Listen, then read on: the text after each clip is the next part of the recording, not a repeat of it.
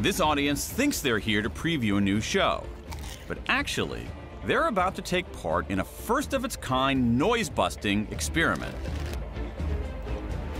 We're going to try out a special loudspeaker which can target sound very accurately and to a precise location.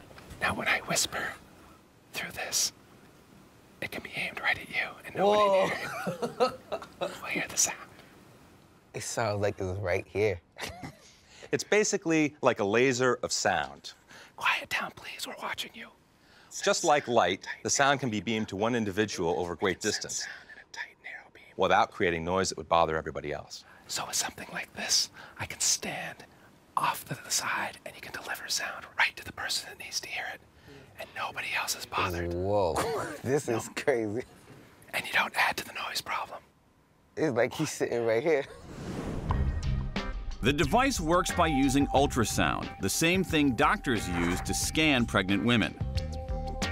Its short wavelength means sound can be beamed almost silently to an exact spot.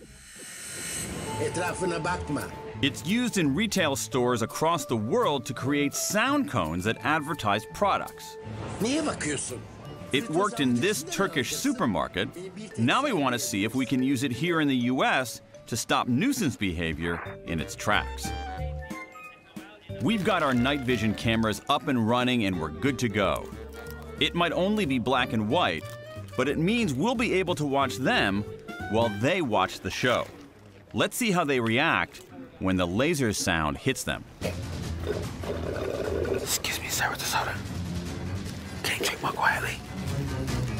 At first, I was kind of freaking out because I'm like, well, what the hell is that?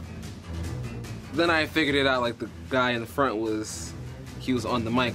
Yeah, yeah. Oh, okay. Thank you. Thank you. Like I don't want to disturb the ambiance of everybody. So yeah, if I'm slipping too loud, let me know and I'll just I'll put it down. Hey, lady in the front. Can you put your foot down, please? Can you put your foot down, please?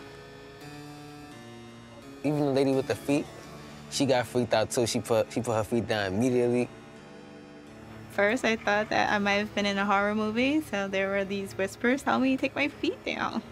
I didn't know if anybody else heard what I heard, but I heard it and it was specific to me, so I took my feet down.